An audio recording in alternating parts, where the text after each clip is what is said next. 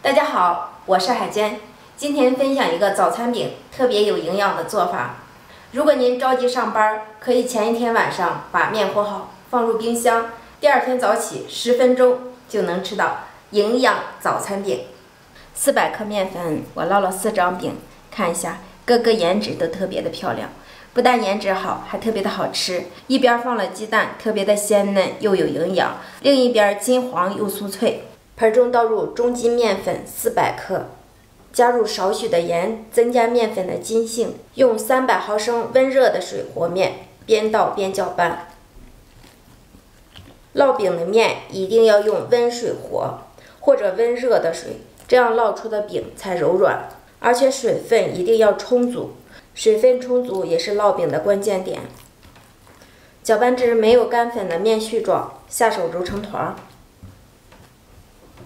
简单的揉几下，看这个面粘手的程度，这样就可以了。盖上盖子，先醒至十分钟。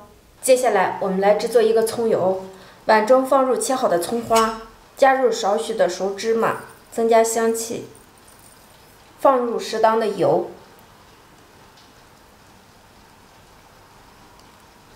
搅拌均匀备用。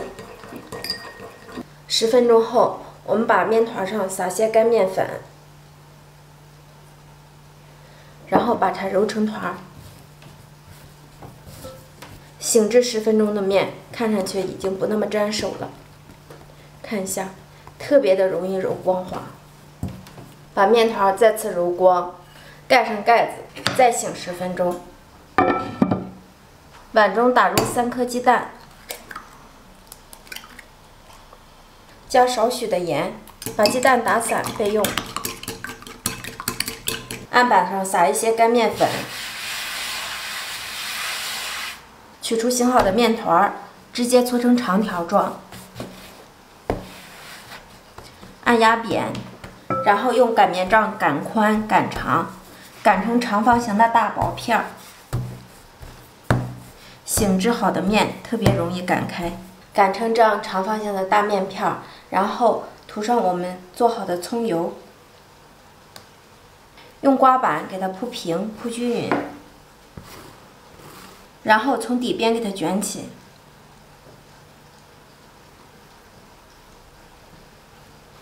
边卷边压一压，排出里面的空气。